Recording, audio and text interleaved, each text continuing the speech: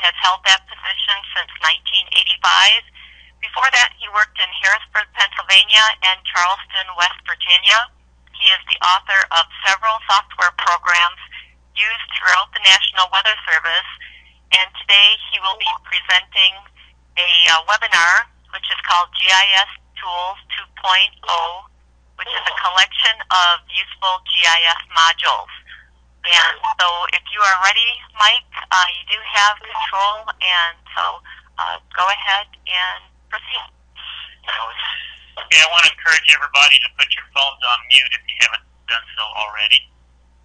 Today, uh, we're just going to talk about this little software package I developed that makes uh, maps easier. We'll talk about the history of it first, and then uh, I'm going to talk about these support modules. GIS Tools is basically just a collection of Python modules. And then we'll talk about the actual modules that create the maps.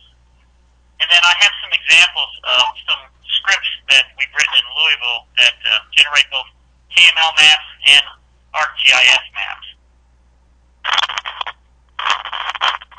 As I said before, uh, everything is written in Python, and people that know me know that that's about the only language I use anymore is Python. KML Tools was created in 2008. Basically, what we wanted to do at this office was make some nice Google Earth maps. And I just uh, sat down and, and read the formats for uh, making KML, and it's really not that difficult. And so I created this little package called KML Tools. As time went on, we added other support modules just to make the task of making these KML maps even easier. Then we got involved with uh, ArcGIS, and we had a person in this office, Mason Foster, who was a GIS wizard, and he developed these really cool models that we could use to make uh, precipitation. But we found out that the HMTs were having trouble running the models, so I basically took Mason's work and uh, developed uh, standalone Python programs.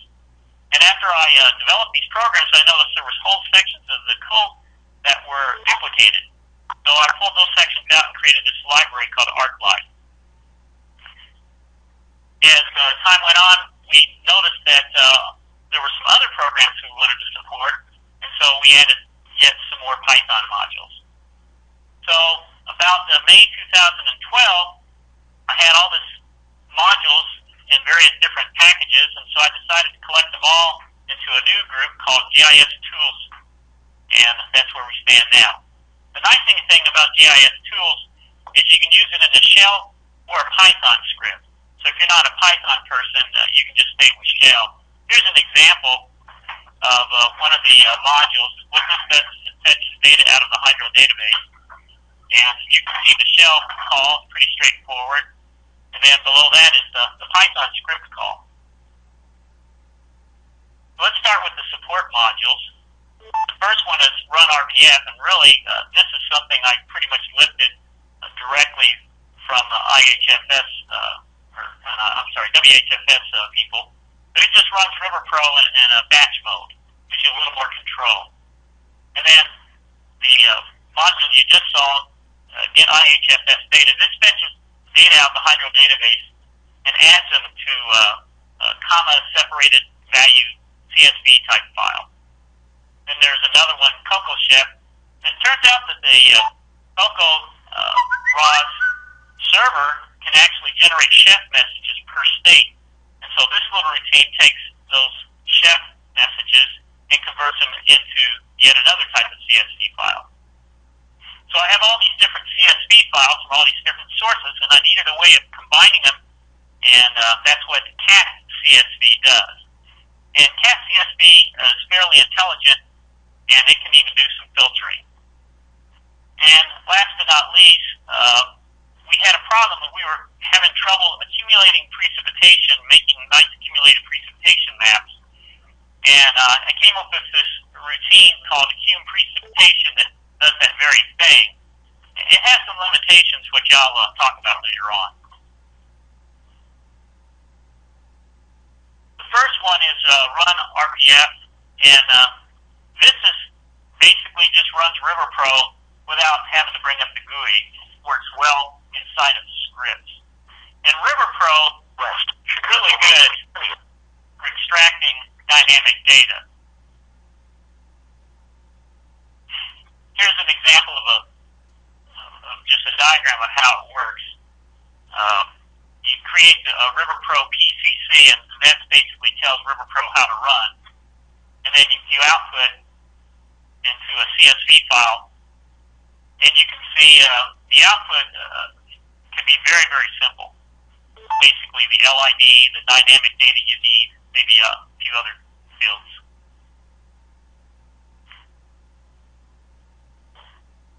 We're trying to go to the next slide.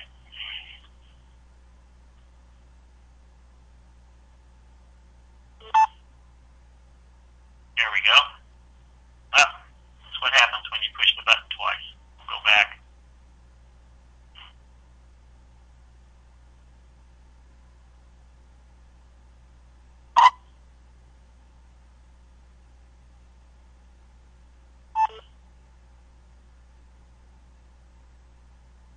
Have to be patient. Okay, this is usually the first step when you're uh, making a map. You grab the RiverPro data first. The bad thing about this uh, program, of course, you have to have RiverPro and only runs on AWIPS. Um, but the PCC file, as I said before, can be very simple. Really, all you need is the location ID and, and the dynamic data. So once you have your RiverPro foundation, the next script or the next uh, module you can run is called Get IHFS Data. And um, now RiverPro is really good for getting dynamic data from the database. If you had to do this using SQL queries, it would be extremely difficult. But there are some limitations. There are many fields in RiverPro, uh, or I mean in the IHFS database, that you cannot get in RiverPro. And one of the big ones is the location.detail field. Also, RiverPro automatically word wraps to column 68, whether you want it to or not. And when you're creating these CSV files, you don't want carriage returns right in the middle of your file unless you're at the end of a record. So I developed this little program, this little module, to uh, get around those limitations.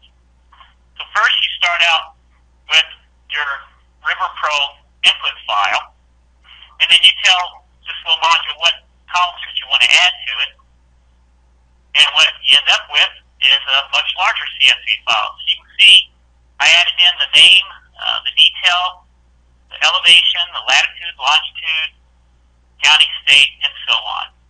Anything that's in the IHFS database, you can add.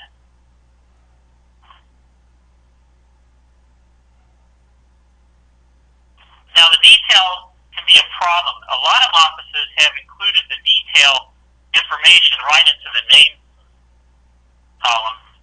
Other offices haven't done this. Other offices have kept it separate. Some offices have done both.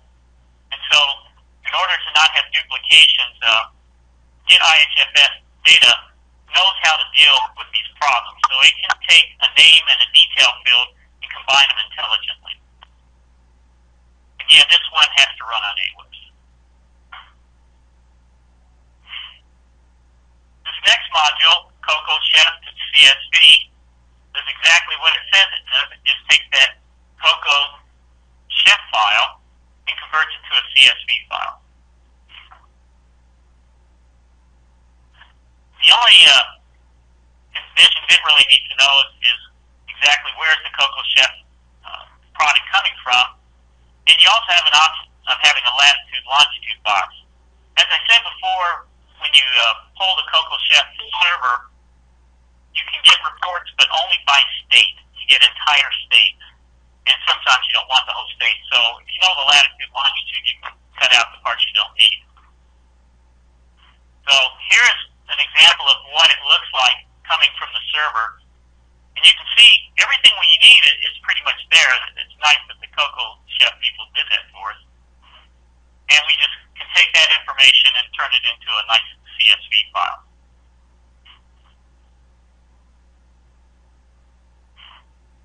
Again, you don't have to import anything. It actually reads the AWIPS text database. So if you just happen to know where that was put into your text database, you can use this module. And again, it has to run on AWIPS. As you can see, we use a lot of CSV files for moving data back and forth in this GIS tools collection. Not all the columns line up the way you want them to, especially from different sources. So what CAT CSV does is allows you to take all these different CSV files and combine them. And it, again, it's intelligent. It can select different columns, and it can also do some filtering. Here's the diagram. So you have a configuration file, and then you have all the input CSVs you want. And here's an example of the configuration file. It's actually quite simple. You just have to say what the output name is going to be, and you have some options there. Um, you can also include a header.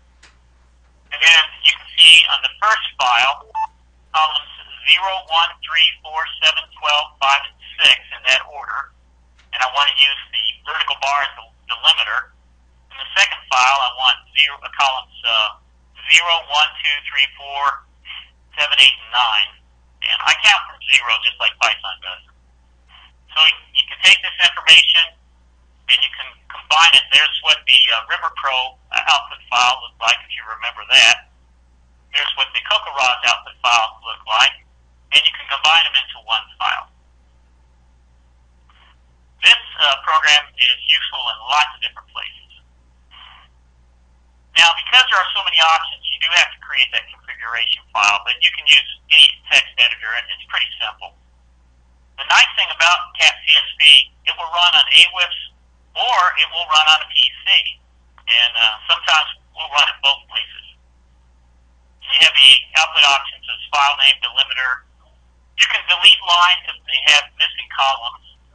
And you can also change dimps, which cause problems with certain programs, to just a blank. And uh, declare your header.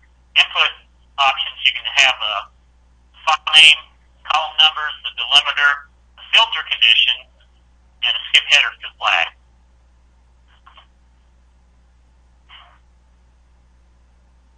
This little guy Accum PCPN turns out in your Hydro database there's a magic table in there called daily PP, and it it actually accumulates daily precipitation.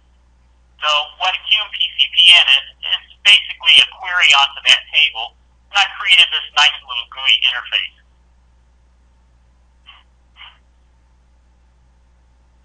and that's an example of the output.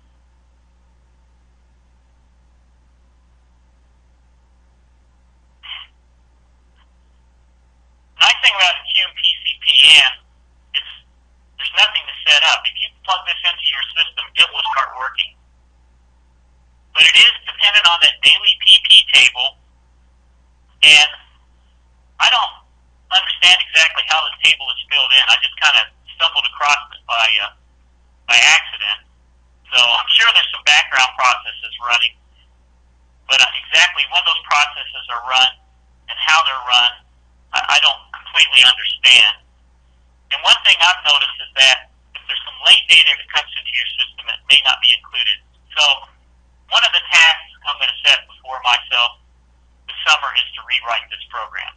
So it will actually use dynamic RiverPro scripts and uh, pull the information out that gives me something to do this summer. But in the meanwhile, if you just want a way of coming up with an accumulated precipitation map, this is the way to go. So now we're done with the support modules, we can start talking about the map creation modules. The big one is ArcLive. And this works with ArcGIS 10 uh, we haven't switched over to ArcGIS 10.1, so I'm not sure exactly how that would work. We also have the CSV2KML, and this is the thing that takes your uh, CSV files and makes plotted KML maps. It, it won't do contouring, but it makes some nice plots. And it will support most of the options that are possible in uh, KML maps. One of the things uh, we use a lot in this office is the Aclaris program, and Aclaris allows you to have lists of spotters. So uh, this little module can basically take your spotter database and create a file that Eclairs can use. And the same thing can be used follow the last module, the CSV to place. And what it does is it generates a, a plotted place map that the GR type programs use. So we'll look at each one of these in detail. Like I said, ArcLive is a library of Python modules, and it just makes it easy if you're a Python programmer to create maps using ArcGIS. Nice thing about this is while the user is executing your program, they don't even know they're working inside of ArcGIS. They basically double click on an icon and in about a minute or two, depending on how fast your system is, a map will appear. Now ArcGIS has to be installed on the machine that you're running this module on. So of course everything has to run on a PC. We have uh, basically two classes. One called Title Dialog, which is a short little class that just pops up a, a box for asking information. And then ArcApp. And ArcApp does most of the work. And we'll talk about each one of these methods that are included. Here's an example of what Title Dialog does. It, it basically just pops up a, a box and asks for a file name and a title. And this is a very common process when you're making a map, so I just thought I would make it easy for programmers so they wouldn't have to keep recreating the wheel. Now, I'm using the TK library, which admitted is pretty primitive. The nice thing about TK, though, is it comes along with ArcGIS, so you can always depend on it being there. Of course, if you're more of a advanced type programmer, you could uh, use the GTK Plus library and install that on Windows. Make nicer dialog boxes. But this guy will get the job done. Then ArcApp, we're going to show you how that does all the methods for making shape files. First thing is the ArcApp constructor. And what this does is just creates an object so that all the other methods can, can operate on. And the object eventually can yield a map. The nice thing it also does is it creates a little text window. So you can write any messages that you want to to the user just to encourage them that, hey, something is happening right now. They may not understand all the messages, but at least they know that something is going on. When you're making these maps, a lot of times, and depending on your uh, hardware you're using, process can be very, very long. And, and so it's always good to send a reassuring message to your user just to let them know that something is happening.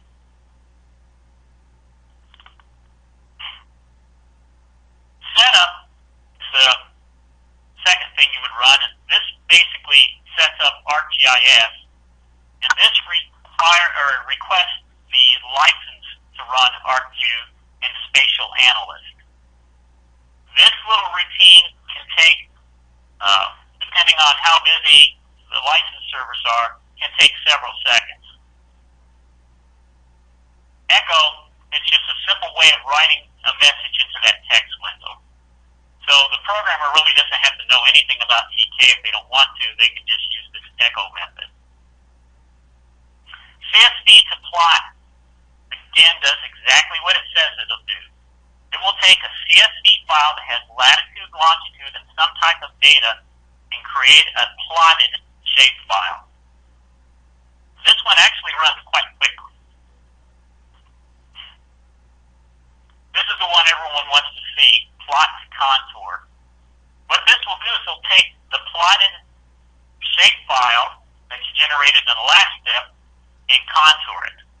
And you have a few options on how you want to do the contouring. For the GIS wizards out there, I'm basically using the uh, topographic routines in Spatial Analyst to run this. And again, this idea I have to attribute it to uh, Mason. Autoscale is a neat little routine. What it will do is it will scan your attribute table and look for the highest value in that column. For example, precipitation. It will look for the highest value, and then from there it can look through a list of layer files that you have created, and it will select the best scale. The nice thing about this is you can have these scales. You can have a scale that is very detailed for between, say, zero and one inch of precipitation. But then if when you're hit with a big event, like six inches of precipitation, it will switch to a different scale. So you don't blow uh, everything above one inch the same color. But on the other hand, if you're always worried about six inches of precipitation, you're going to lose a lot of resolution for the small events. So using auto scale, you can kind of get the best of both worlds. And uh, one of the routines in auto scale is max min, and I just thought I would expose that to the programmer. They might find it useful for something else. Shape clip uh, will take a shape file and clip it based on another shape file. And this was such a common process, I just thought I would expose it in this uh, particular package. So, for example, if you want to clip a plotted precipitation map or a contoured precipitation map to your WFO boundaries, you can do that. A lot of weird things can happen while you're running these uh, scripts, and uh, you want to catch the errors and pop up a box. Again, now the user may not understand all the aspects of the errors, but at least they know something has gone wrong and things just don't disappear. So that's what catch except does. In copy file, that does exactly what you think it is. Again, this is such a common process, I just thought I would make a nice little method to make it easy. Once you have your map, I created two methods to make it easy to check on things and, and fix bad data. First one is called Pop CSV, and what this does is it basically brings up Excel with your CSV file in the right columns to make it easier for the edit, uh, the user to look at the data and perhaps edit the data. And then Pop PNG, just most of the time when you're done with these maps, you convert them to PNGs so you can post them up to the web. And this just makes it easier to show the user what he's going to uh, generate it before he actually sends it up to the web. So it just pops up a, a window uh, or a version of Paint.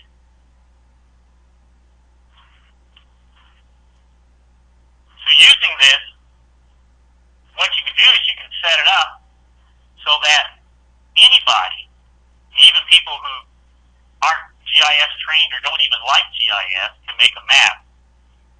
And if you set it up correctly, you can have the maps generated.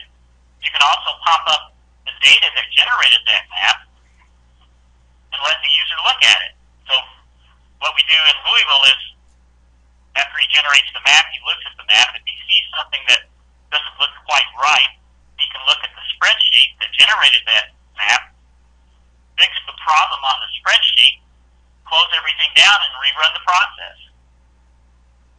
So it makes it really nice to make a good quality controlled map. ArcLive is actually being used by a few agencies outside the National Weather Service for various purposes. And since this is pretty involved, when you uh, download ArcLive, you get a 42-page programmer's guide with example code on how to make certain types of maps. So I try to make it as easy as possible. Of course, I can always probably improve that programmer's guide, and with comments, I'll be happy to do that with later releases.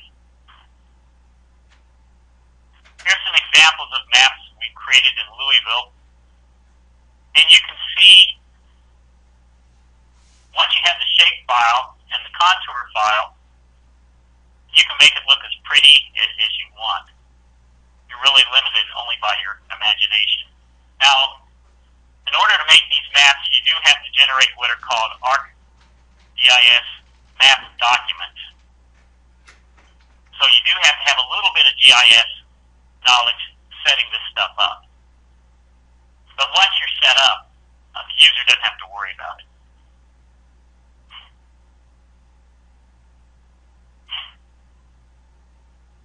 Going on. We have CSV to KML, what this does is takes the CSV file and it can generate a very nice plotted KML or KMZ map that you can use to display in Google Earth or Google Maps. If you're using Google Earth, you can actually put multiple folders in the same map, so you can include the precipitation, snowfall, temperatures, and uh, put it all into one map, and then have the user click on the folder they want. The one thing that CSV to KML cannot do is it cannot contour.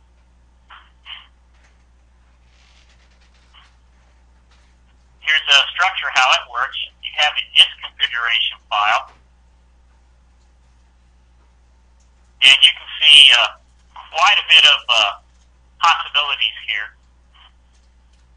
We don't want to take time to describe all of them, but uh, pretty much anything you can think of uh, as far as a plotted KML map is open to you.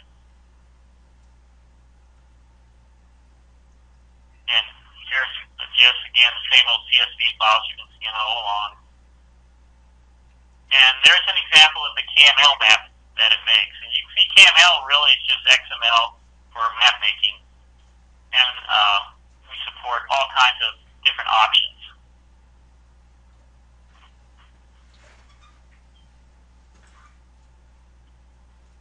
CSV to KML has 27 different options. So definitely have to have that configuration file. And the interesting thing about this little routine is you can actually generate the KML file on AWIPS or a PC. And we've used this program for all kinds of stuff. Um, we've even used it for plotting signal strength from weather radio uh, uh, surveys. So it's not uh, it's not limited as far as any type of point data that you want to handle.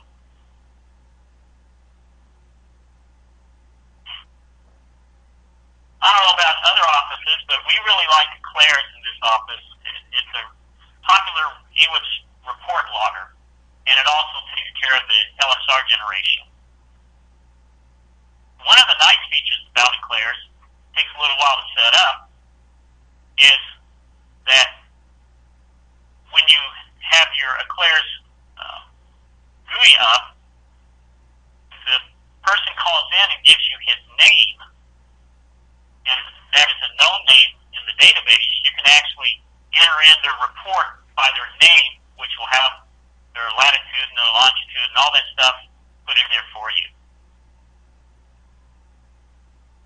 Here's an example of what our spotter database looks like. And here's what Eclairs wants to see for that information. You can see it's just basically the name and the address and phone numbers, all that good stuff.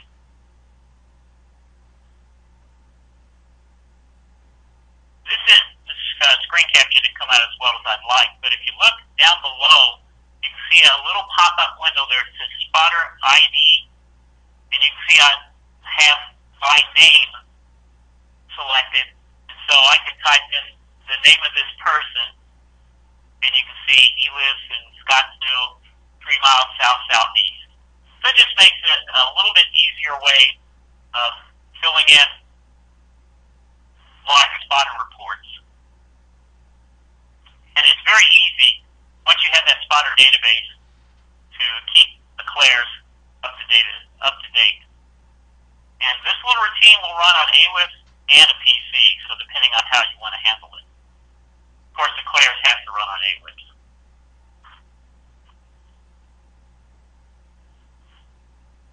One of the most beloved set of report uh, programs from the Weather Service uh, offices are the ones created by Gibson Ridge Software.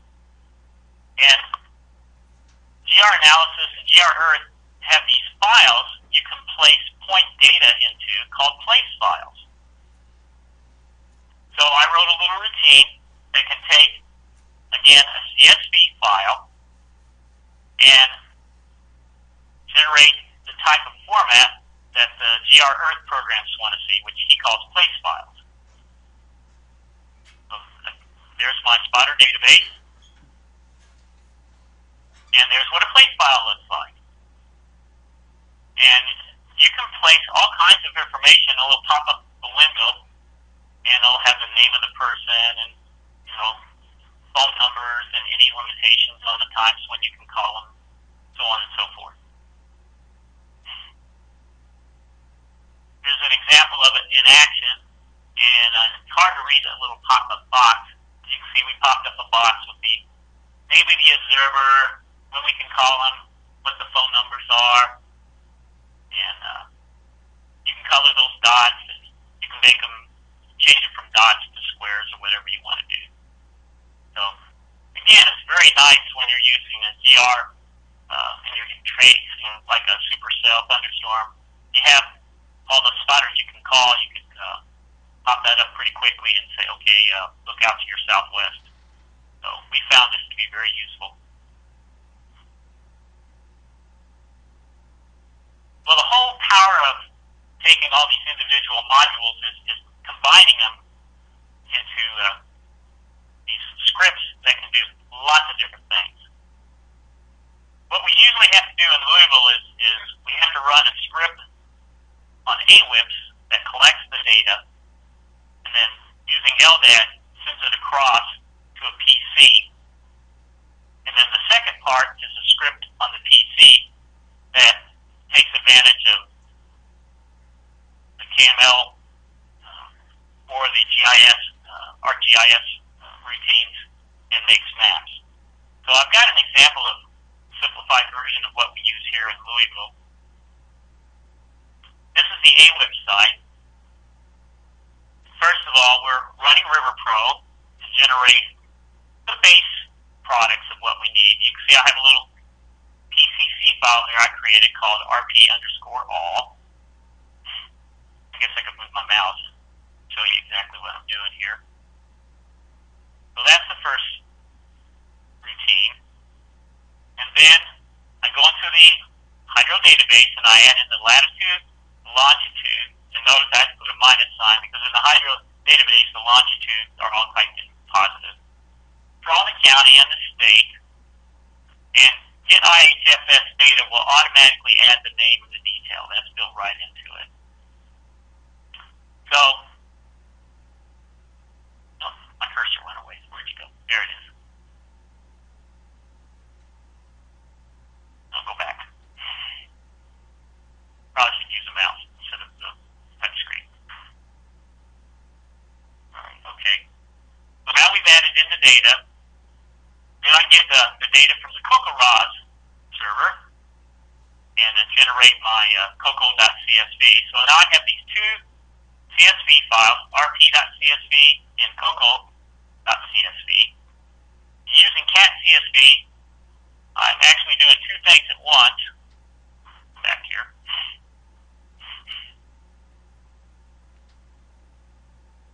I'm generating separate files.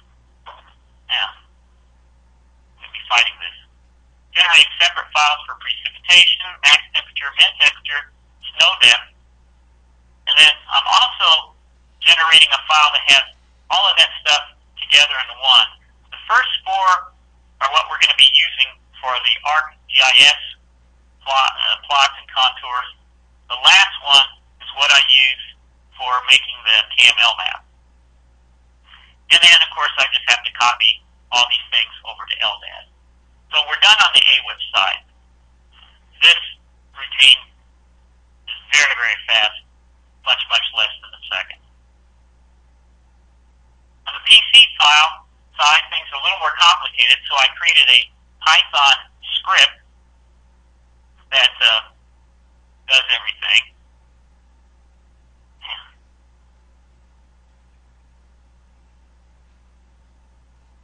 First of all, you can see I'm going to forget about the cursor because it's getting irritating. Uh, but you can see I'm making uh, all the KMZ files using the CSV to KML. And where you see the self.gui.echo, that's actually writing a message to the screen, just letting the user know that something is happening. Then we set up the ArcGIS workspace.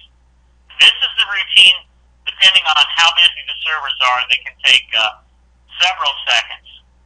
So again, I encourage you definitely want to write a little message to the user, letting them know, thank you, that uh, something is happening. Now we take that CSV file that we sent over. In this case, uh, we're just using, uh, I think this is routine, and we're just generating the plot shape file. So once I'm done with this, I'll have a nice plot shape file that has all my precipitation uh, labeled. Then I take that plot shape file and using plot to contour, and this generates the contour shape file. So now I have a plot shape file and a contour shape file, and I can overlay them any way I want to. This next, I like to clip my uh, to WFO boundaries. I know some people think that's not good, but I like to see things clipped to the WFO boundaries, so this is a routine that does that. Now, if I remove this one line, um, you would see the the contours would go all the way to the edge of the map. So now I have all this information, and so I take that map document, which is really just a template that I created earlier, and I make the map. So tell my uh, user there that the base map is created. Next, we correct, uh, we select the, uh, the correct scale, and again, this is a precipitation routine, and my scales can go all the way up to 12 inches of rain. That's what that 12 is. That tells what the limit is. And then I save my files based on what day it is. So that's what the uh, time, local time does, and it puts the name based on the, the date. You can see I use a month, day, year, .png there at the end.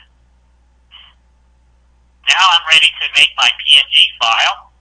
So that's what the uh, export to PNG command does.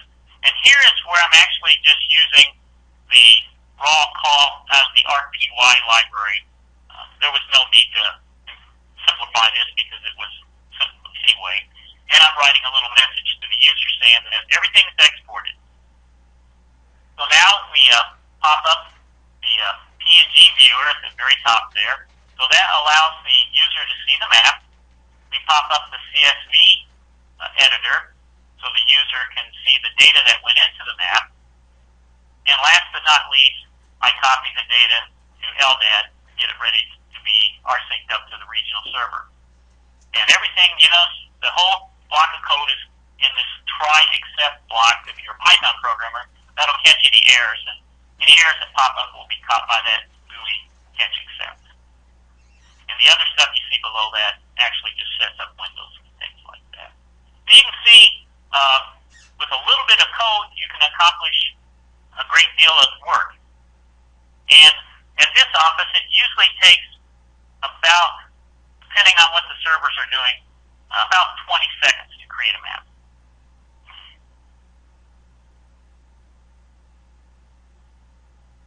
So again, GIS Tools is just basically a collection of Python modules that makes life easier for the for GIS focal point, who we all know is worked to death. And it takes the the the uh, CSV files that have all kinds of formats and makes the ArcGIS maps and the KML uh, Google Earth type maps. And uh, I'm sure I'm going to be adding other modules in the future until there'll be a GIS Tools 3. You can go either on AWIPS or PC, depending on what is more convenient for you, and you can use these in Shell or Python scripts. So I hope uh, you enjoyed uh, little introduction to GIS tools. And obtaining GIS tools, I'm having a hard time figuring out the uh, S, uh, what's that, the Software Collaboration Platform, SCP. So if you really want GIS tools, just send me an email and I'll send you the, the package. It's, it's not very big at all. And that will include the, the documentation that comes with it. So I'll be happy to entertain any questions from anybody out there. Hey, Mike, can you hear me? This is Mel and Eureka. Yes. Okay, I've got a um, couple of questions for you. Um, well, three actually. Let's start with the Python. Um, Mike, I'm not too concerned with the GIS side of things. We've got some reasonably good GIS um, expertise here. I'm more concerned with the setup and the, the Python code. Um, we've got you know, the, two of us that would be involved with doing that are not as maybe as Python savvy. So I don't know if you can speak to that. I know that's kind of a generalization, but Yeah. There are a lot of good Python books out there, um, but if you if you just want to make maps, if you look at the documentation that comes with GIS tools, I really do walk you through almost line by line of the process of making a uh, a, a, a plotted uh, shape file and a contoured shape file. Okay, it sounds like you've taken care of that for us, that the Python code's all kind of embedded. Um, another question then would be um, the you know the whole issue of AWIPS two and the transition of this over to AWIPS two when that occurs. I'm assuming I, I don't really know how this fits in with that. it shouldn't make any difference whatsoever. The fact it'll run on a PC or a AWIPS platform, a Linux platform, it really could care less about AWIPS 2. As long as RiverPro still runs, it should be completely uh, invisible. Right, that was my assumption is that RiverPro dealt with that for us. So as long as that's working, okay. I'm keeping my fingers crossed. Right. Okay. So my last question then is, you know, what what you're doing here obviously is uh, point data being extrapolated onto you know to create maps, and uh, you know there's information being filled in. Do you know the objective uh, analysis process that's being utilized to do that? Yeah, well, and I'm using, if, if you're a GIS uh, person, I'm using Spatial Analyst, and I'm using the topographic routines. Okay, got it. All right. That's all of our questions from Eureka. Thank you very much, Mike. Very good work. Great presentation. Well, thank you. Are there any other questions? I know there was a lot of material to cover. Hi, Mike. This is Melissa. Oh, we got a tie. I think I heard Duluth first. All right, thanks. This is Steve. Um, I've uh, done a little bit of uh, implementing here, and I uh, am getting some traceback errors. Are you, are, are you willing to take a look at those uh, for me as, as a? Certainly, yeah. Just send me what the errors are, um, and I'll, I'll look at them. I'll, I'll be happy to. Uh, usually, they're pretty straightforward. A lot of them sometimes are permission issues. Okay, I'm sure you've seen much of these before, but Right. and then uh, I had a couple comments in, in your instructions. Okay. Um, under the uh, the ArcLib, uh, there's a couple areas where there's some syntax stuff that's out of shape. You just want me to? Uh, it starts like on page 22, where Yeah. you're Yeah. Just, uh, just you know, show me where the errors are, and I'll be happy to correct them. okay. Yeah, it's just that GUI equals arclib. The, the it's a colon C instead of a C colon. So Oh, okay. Yeah, I'm sure there's all kinds of typos in there because I I had people look over it, but I'm the only Python guy in the office, so you know, Okay. unless it's really obvious, they probably didn't catch it. Okay, and then just about a module, uh, wondering if uh, you've made an Accum Snow, like an Accum precip. Uh, like- I'm not sure uh, if there is a daily snow type thing in there, but but when I when I do the uh, daily uh, or replace that Accum PCPN uh, module, I'm thinking very seriously about really expanding what that thing can do, and I will include snow. Uh, that'd be great for us up here. Thank you. Uh, I can imagine. Yeah, I appreciate your hard work. Thanks very much, Mike. Sure. Uh, who was the other person who wanted to ask me a question? Hey, Mike. This is Melissa in Rapid City. Hi, Melissa. Hey, I was wondering, do you have anything that will take um, the LSR format and be able to use an LSR to combine it into the CSV file? No, I haven't written anything like that, Melissa. Um, but uh, you know, that sounds like that would definitely be something doable. But I, I haven't messed with that yet. Okay, thanks, Mike. But if you do some do something like that, uh, let me know and I can include it into the next release. Okay, that sounds good. Thanks. hmm Anybody else out there? This is Matt from Key West. Hey, how's it going in Key West? Going very well.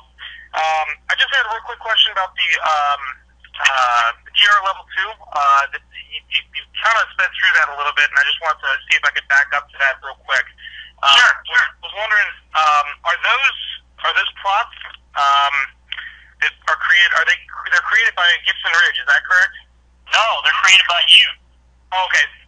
Uh, it, you have software that will compile all that data together. Is that correct?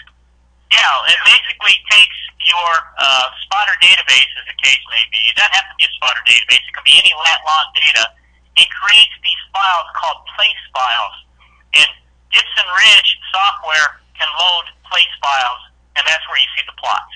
Uh, I'm with you now. I'm with you. Okay. Um, I've, I've, I've done some work including place files inside of our GR Level 2 analyst before.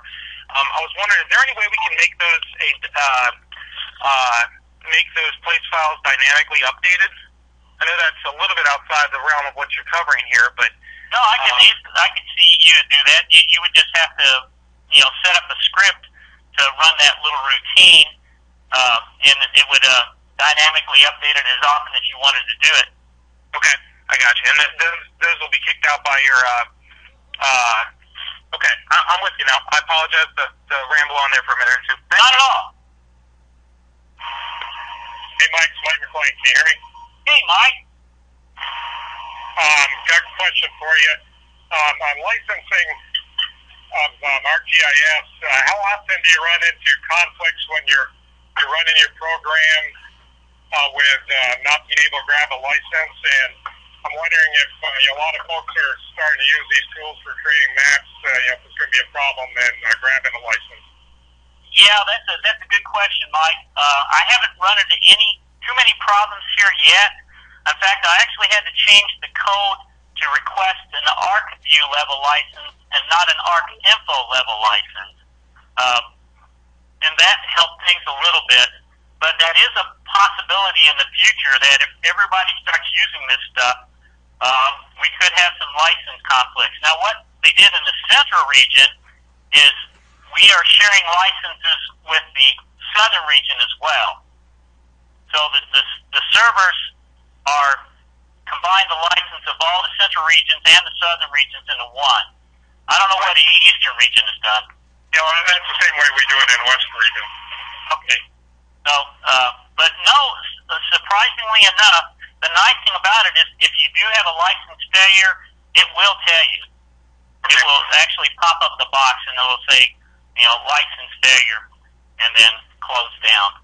So at least you won't be left in the dark. Good. Thanks. Anybody else out there? Hey, Mike, this is Hunter in Columbia. Um, I just had a quick question. Uh, we think creating maps here, uh, but not near as efficient or quick as, as your uh, process here will, uh, will do. So that, that's, uh, that's very helpful. I appreciate you doing that for everybody. Um, I'm just kind of curious that all these maps that y'all are creating daily, what are all y'all using those for? Are y'all posting all those to your, your external webpage, or what are you doing about maps? Well, we're, we're kind of archiving them, uh, and uh, we are posting them on the top news of the day, uh, but we really need to start working on developing an online archive, uh, and so that's what our final goal is going to be. We're going to have like a place where a user could go to, and if you wanted to look at the precipitation from a certain date, uh, that map would pop up. We're, we're not there yet, uh, but we're working toward that. Okay, great. Thanks. hmm Anybody else? Hey, Mike, this is Diane Cooper. Hey, Diane. How are you? I'm fine. I'm curious. Um, we are ingesting all the CoCoRaHS data into Hydrabase. So, Yes, I am too. Okay, so then why are you actually creating a separate CoCoRaHS file then? For offices outside my area, Oh. Uh, okay.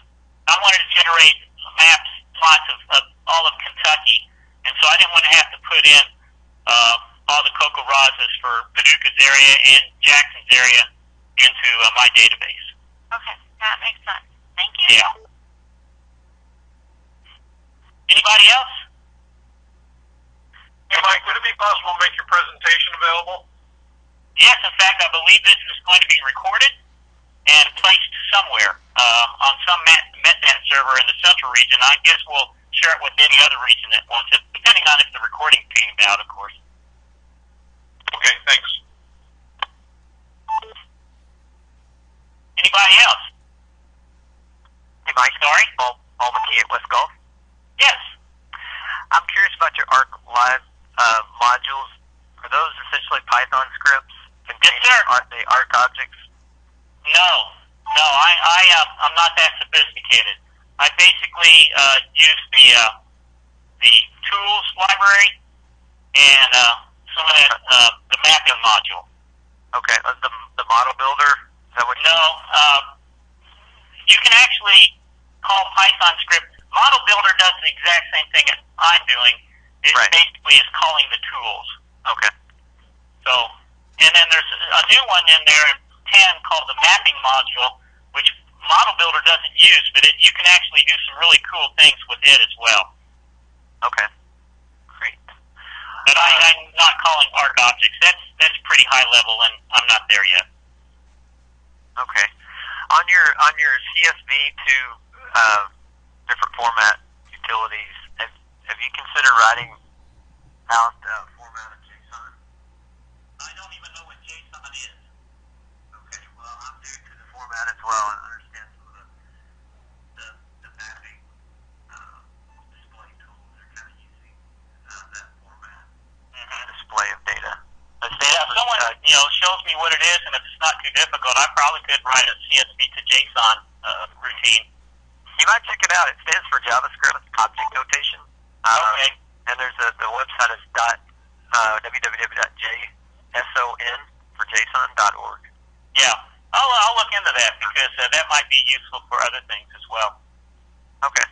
Anyway, uh, great tool set. Uh, I want to be contacting you for for a copy. Thank you. Sure. Anybody else? We have uh, about ten more minutes, I guess. Hey, Mike, this is Jason down in Brownsville. Yeah, Jason. Um, I wanted to report a bug to you. Do you want me to email it to you, or do you want me to tell you about it here?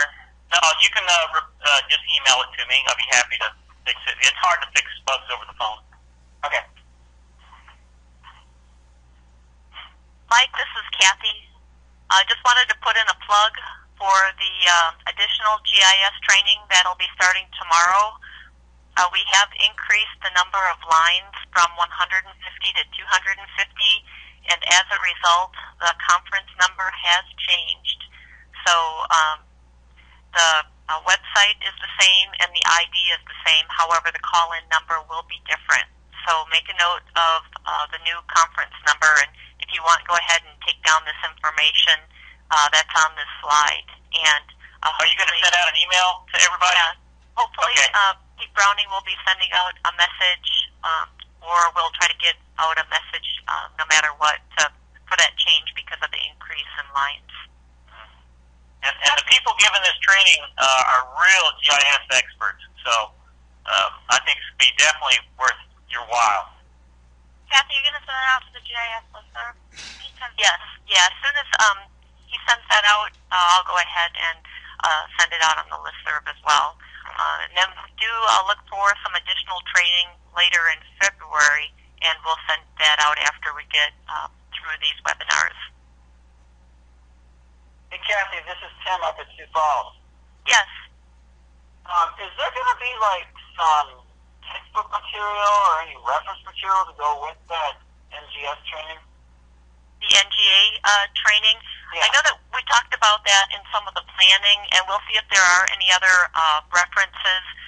Basically, uh, the NGA normally spends a week, you know, three to five days on each one of these topics, and so at this point, um, they are uh, recommending some of uh, the typical ArcGIS introductory uh, books that are out there. And if we do get any other resources, we'll make sure and, and forward them on. But at this point, uh, they've just tried to put together a few webinars uh, to give us a taste of, of some of the training that they actually go through.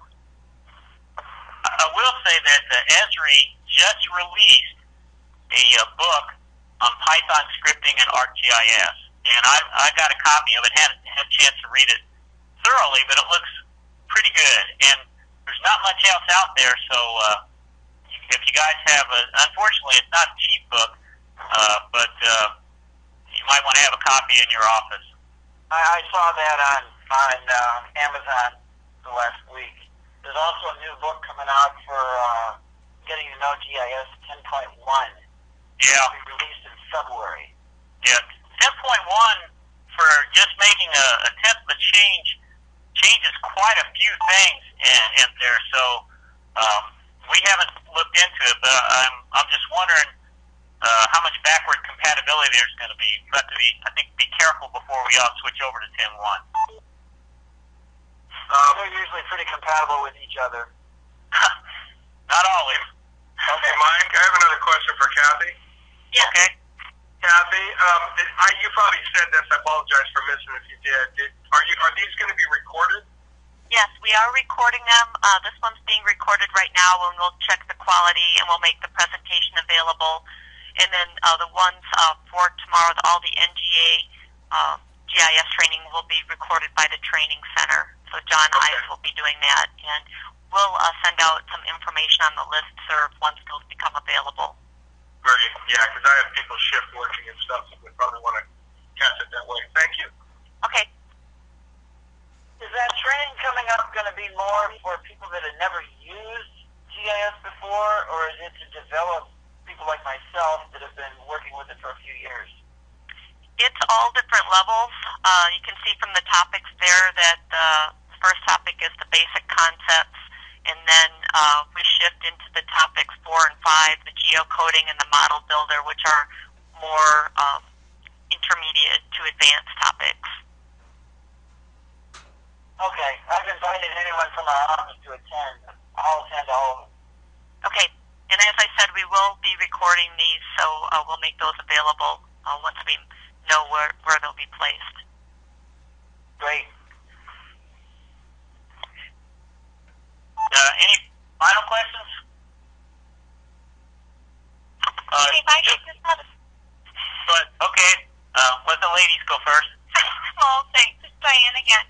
Yeah. Uh, have you been able to come up with something similar to this for snowfall for multi-day storms? No, and someone already asked that question. And, and Diane, is there a daily snowfall table in the database that you know of? Um. Well, we get the 24-hour. Yeah, but see, daily PP does the accumulation for you automatically. I know. That's what I'm It, wondering. it does it magically. I don't even know how that thing works. Uh, Well, you know how Dave Pearson is taking requirements for database right now? yeah, Maybe we should ask that. yeah. Okay, I'll send yeah, I mean, it would be possible to write something like this for snowfall, and that's something I think I'm going to work on this summer, is coming up with a more robust version of that routine. Hey, Mike, it's Nathan. Hey, Nathan, Hey, you're the man.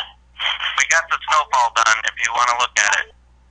Okay, are you accumulating it out of the database? Yes, Okay, and you're just using the standard snow tables? yes. Okay. Yeah, uh, yeah, if you want to send me a copy of that, that'd be great. Okay, piece of cake. Okay, thanks a lot, Nathan. Anybody else? Just to be clear, if you wanted, uh, if we wanted the uh, the whole package that you were going to send out, should we just send you an email, or is there a website you could send this? No, uh, just send me an email. Perfect. It's Thank just you. easier. Someday I'll figure out the SCP, but Okay, thanks, Mike. Great, great set of tools. okay. Well, I want to thank everybody for listening in, and and again, if you have any comments, uh, just send me an email. Be happy to help you out. Okay, thanks.